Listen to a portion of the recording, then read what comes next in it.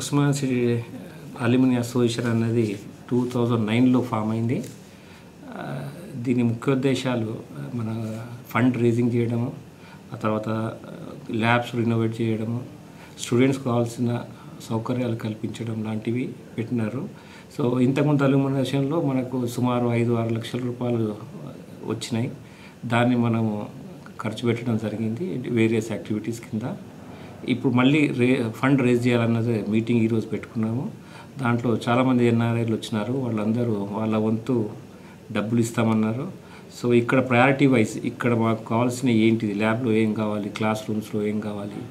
యూనివర్సిటీని ఎట్లా డెవలప్ చేయాలి? కెమిస్ట్రీ ఎట్లా చేయాలి అన్నది అది ఒక ప్రణాళికను తయారు చేసి వాళ్ళకి సబ్మిట్ చేయడం జరుగుతుంది.